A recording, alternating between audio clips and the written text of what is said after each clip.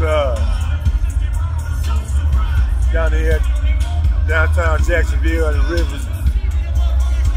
Jacks River Bank, you know what I'm saying? Jax River Jam 2024.